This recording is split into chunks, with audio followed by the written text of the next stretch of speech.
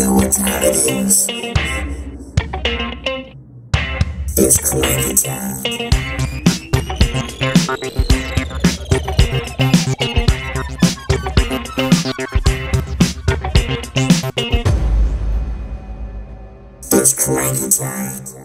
Hey everybody, Dr. Cranky here in the laboratory, and we are um, we're very excited because we are, are working on our list of uh, you know Cranky's uh, top ten uh, cart kits, and uh, we've worked it all the way up to spot six, and now we are going to uh, take a moment and uh, talk a little bit about what is coming up on the list and what is uh, already uh, being added on there. I hope you have noticed, and um, it's very exciting because this time around, what we've decided to do is to sort of add, uh, have the uh, have the place uh, be shared sometimes with several other kits uh, that I believe belong on that uh, on that number on that spot and. Um, and so that's coming up. Uh, that's going to happen now for the next four slots. We are going to uh, double and sometimes triple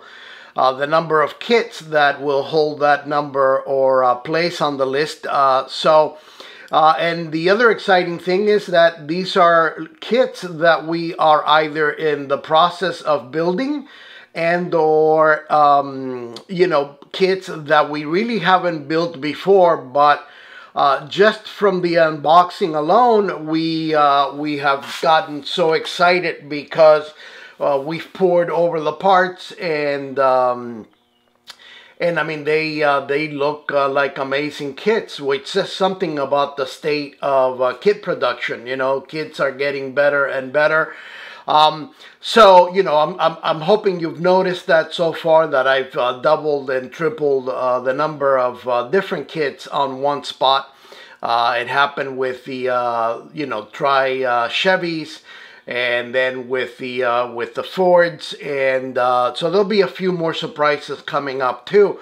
Uh, but I wanted to uh, you know talk a little bit about that because I want everybody to understand that you know again the number one thing you need to remember with this list is that it's a personal list. Uh, you know, it's it's what uh, the kids that we keep coming back to and that we like.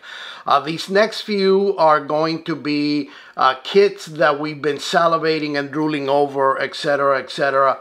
Um, the other thing that I wanted to uh, remind everybody is that uh, because it's sort of a uh, it's an obvious omission, uh, we uh, have left out basically all other manufacturers uh, out, uh, including uh, Tamiya and Hasegawa and, and a few others. We focused this time around our list uh, strictly on American um, uh, cart kits. Uh, but you know, those of you who work with Tamiya, you you can come up with your own list. I, I'm, I know that there are lots and lots of great model kits that they've put out over the years.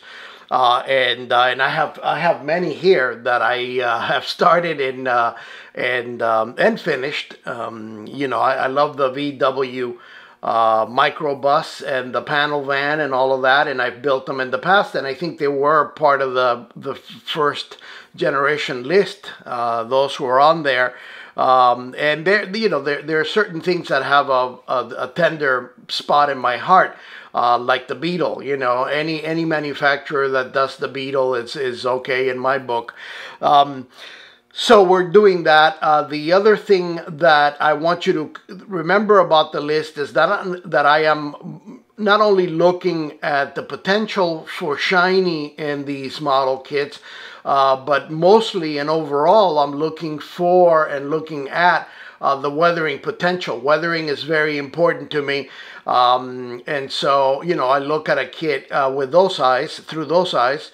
Uh, the other thing that I wanted to uh, mention is that there are certain kinds of, um, uh, you know, particular kinds of builds that I'm also looking for in terms of candidates, and that you are going to see in uh, not only not number seven, uh, but number eight is going to be, you know, that number is going to be dedicated uh, to this kind of uh, build, and I won't say anything because, you know, I, I, I want to surprise you. Uh, um, but anyway, uh, that's where we're at with the list. Uh, it's going to take me a little bit to come up with the rest of the videos, but you know, we, we have a playlist so you could enjoy uh, the first top six, and then uh, we have seven, eight, nine, and 10 uh, left. Uh, but you know, I'll jump in here and I'll add this video to the playlist too so that we can put um, give give give the list and the, the nature behind the list a, uh, a, a context, you know,